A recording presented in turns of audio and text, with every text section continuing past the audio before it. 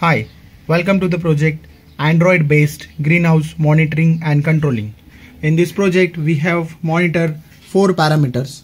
So here you can say this is temperature sensor, humidity sensor, light sensor and we have provided two probes for soil moisture sensor. This is Bluetooth trans receiver module.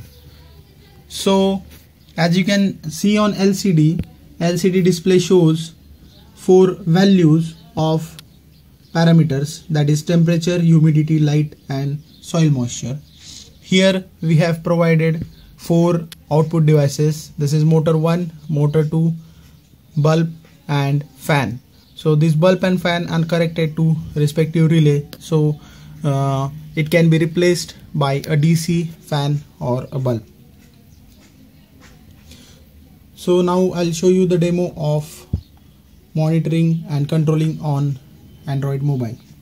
So here we have to select the device and click on connect button. So LCD, uh, the, da the data displayed on LCD will be shown on Android mobile application. So here you can say here you can see that temperature, humidity, light and soil moisture values are displayed on LCD.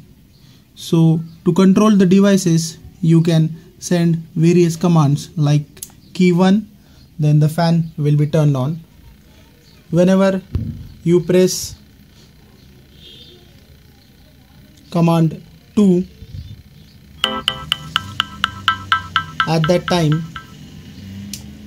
bulb will be turned on to turn off the devices you can press the respective buttons